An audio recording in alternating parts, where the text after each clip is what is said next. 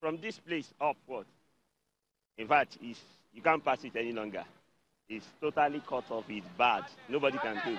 And that's why it's, the roads are bad. Everywhere is cut off. People cannot move, whether day or night. In fact, it worsens when it rains. Now, even these few movements you are seeing now is because it has not rained for the past two days. But once it rains like this, everybody is cut off. You see people trekking. You see all these vehicles are down. Nobody can move and that. I'm a single parent, so it's tricycle that I'm using to survive myself and my children. But this road have destroyed a lot of things inside my tricycle, including my colleagues that we are working. We have problem every day on our tricycle because of this road. Please, the government should just come to our aid. We are begging.